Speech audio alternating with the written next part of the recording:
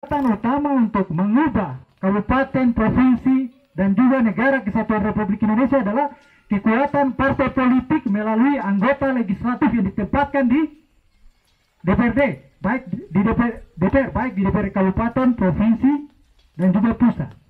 Hari ini Bapak Ibu tahu tidak APBD Kabupaten Biak Numfor berapa? Ada yang tahu?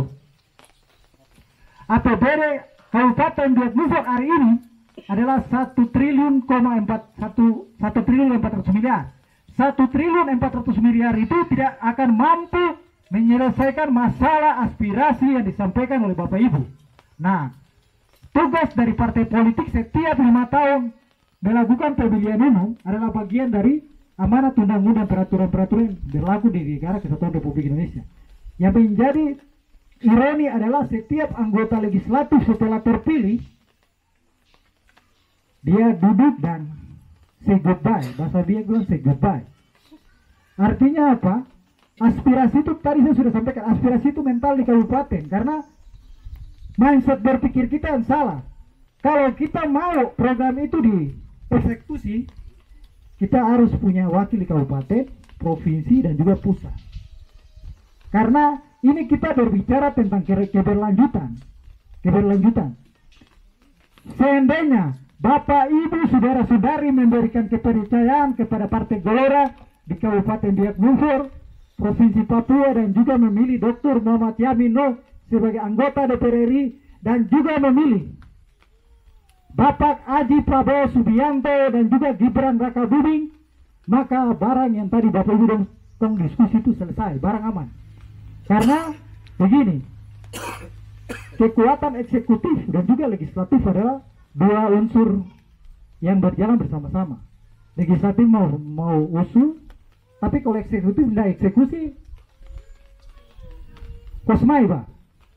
Artinya apa? Jika nanti Partai Gelora menang sampai tingkat DPR RI maupun Prabowo dan Gibran menjadi presiden dan wakil presiden, APBD itu kita bisa dongkrak sampai 3,8 triliun. Dari 3,8 triliun itu ada alokasi 1 triliun satu triliun itu kita bisa bagi DPR space artinya bagi DPR bagian toh. Jadi misal, misalnya macam UMKM adik dorang kakak dorang setelah jadi sarjana pulang ke kampung dan jadi warga kampung. Pada orang tua pengen supaya dong kuliah dong balik dan dong menjadi sebuah anak yang membanggakan orang tua. Betul kan tidak bapak ibu Terus terkait dengan pendidikan, Bapak Ibu, Bapak Ibu kalau lihat di sini, di sini, ya, di sini ini ini ini Gelora menang kuliah gratis. Maksudnya Gelora menang kuliah gratis begini. Di seluruh Indonesia hanya enam persen usia produktif yang dia sekolah dari SD, SMP, SMA dan kuliah, enam persen. Di Papua, kalau bisa di Papua kalau saya salah mungkin bisa dikoreksi. Di Papua kalau lima tahun lalu itu hanya 11 persen orang asli Papua yang kuliah. Artinya apa? Kita punya alokasi anggaran otsus yang luar biasa yang dikirimkan sekarang 80 persen langsung dari Kementerian Keuangan ke Kabupaten Biak Numfor tidak terserap dengan baik.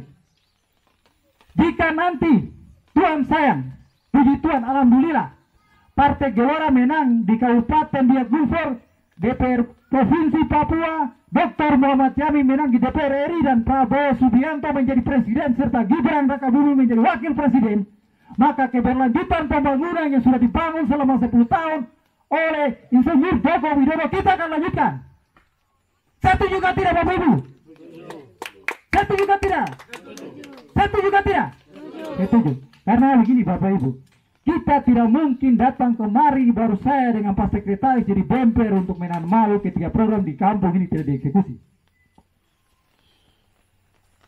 Saya tidak mencoba menjelaskan soal silsilah keluarga. Saya saya paling tidak mau menjelaskan soal silsilah keluarga. Tapi tadi Bapak Ibu dengar bahwa Bapak Mampir sudah sebut.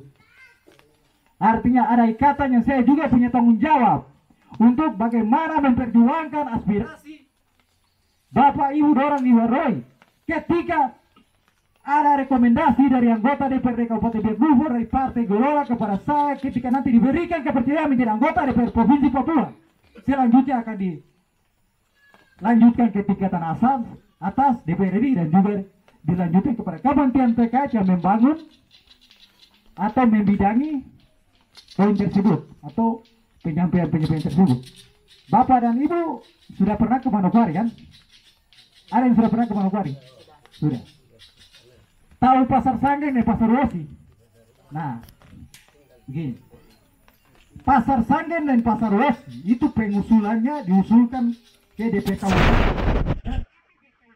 terselesaikan.